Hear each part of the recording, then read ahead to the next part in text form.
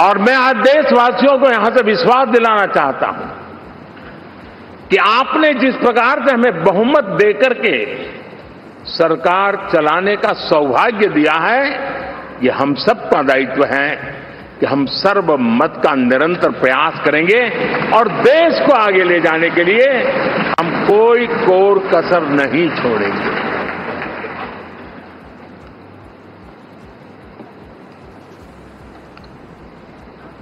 साथियों एनडीए को करीब करीब तीन दशक हो चुके हैं। यानी आज़ादी के 75 साल में तीन दशक एनडीए ये सामान्य घटना नहीं है जी। विविधता से भरे हुए अपनी लोकतांत्रिक और सामाजिक रचना के बीच में ये तीन दशक की यात्रा एक बहुत बड़ी मजबूती का संदेश देती है।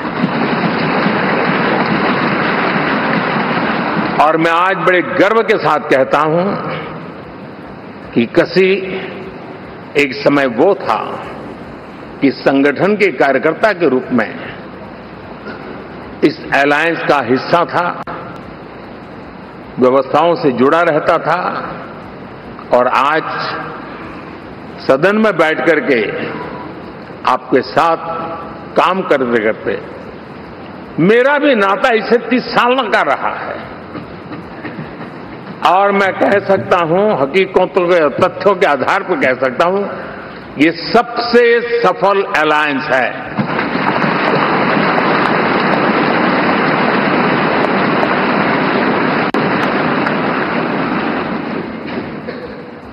हम गर्व से कह सकते हैं कि पाँच साल का टर्म होता है। इस अलायंस ने तीस साल में से पाँच पाँच साल के तीन टर्म सफलतापूर्वक पार किए हैं और अलायंस चौथे टर्म में एंटर कर रहा है।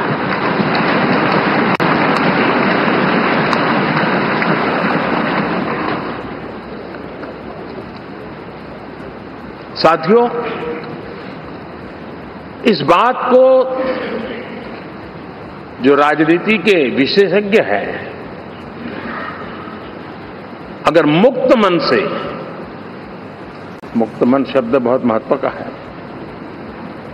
वे सोचेंगे तो पाएँगे कि एनडीए ये सत्ता प्राप्त करने का या सरकार चलाने का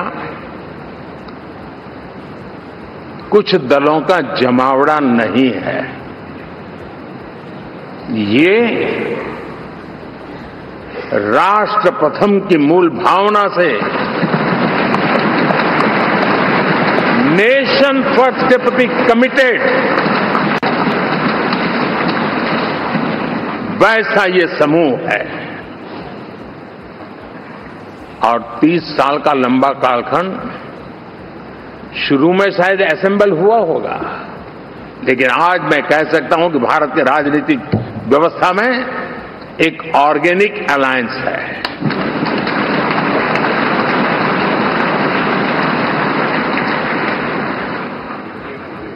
और ये मूल्य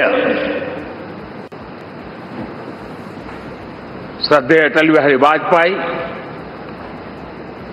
श्री प्रकाश सिंह जी बादल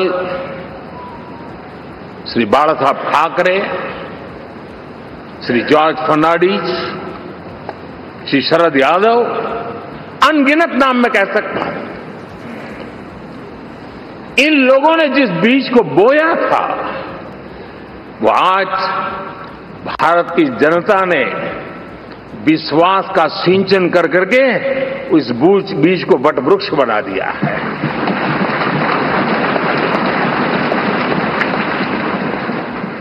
और हम सबके पास ऐसे महान नेताओं की विरासत है और हमें इसका गर्व है। बीते दस वर्षों में हमने एनडीए की उसी विरासत, उसी मूल्यों को लेकर के निरंतर आगे बढ़ने का और देश को आगे बढ़ाने का प्रयास किया है। जैसे मैंने कहा, मुक्त मन से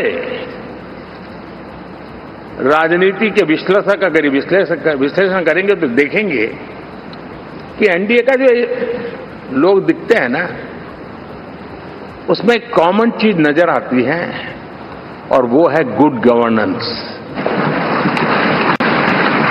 इन सबने अपने अपने समय में, अपने अपने कार्यकाल में जब जब जहाँ सेवा करने का मौका मिला है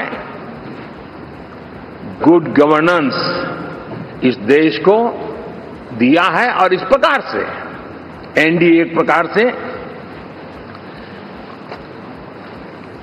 एनडीए कहते ही, गुड गवर्नेंस, ये अपने आप पर्यायवाची बन जाता है।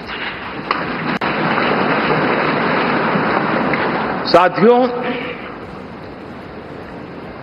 हम लोगों के सभी के कार्यकाल में चाहे मैं गुजरात में रहूँ हो, रहा हूँ, या बाबू हमारे आंध्र में रहे हो, या नीतीश जी ने बिहार के लिए भरपूर सेवा की। हो हम सबके अंदर केंद्र बिंदु में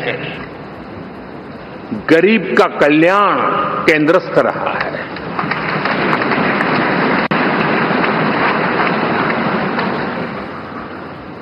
और देश ने एनडीए के, गरीब कल्याण के गुड गवर्नेंस के 10 साल को देखा है, इतना नहीं मैं कह सकता हूँ, देश ने इसे जिया है।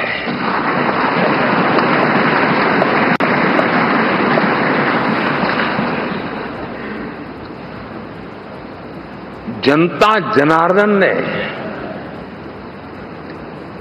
सरकार क्या होती है? सरकार क्यों होती है? सरकार किसके लिए होती है? सरकार कैसे काम करती है? इसको पहली बार अनुभव किया है। वरना जनता और सरकारों के बीच में एक खाई की व्यवस्था ही बनी हुई थी। हमने उसको पाट दिया है। हमने सबका प्रयास का मंत्र देश को नई ऊंचाई पर ले जाने के लिए चरितार्थ करके देखा है। साथियों, एनडीए सरकार में हम अगले दस साल में मैं बहुत जिम्मेवारी के साथ कह रहा हूँ। अगले दस साल में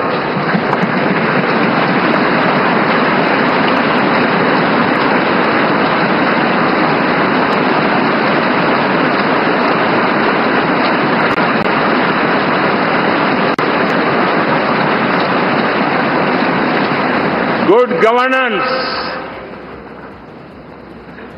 विकास नागरिकों के जीवन में क्वालिटी ऑफ़ लाइफ और मेरा व्यक्तिगत रूप से एक बहुत बड़ा ड्रीम है। मैं लोकतंत्र की समृद्धि को जब सोचता हूँ तो मैं चाहता हूँ कि सामान्य मानवीय के जीवन में से, और खास करके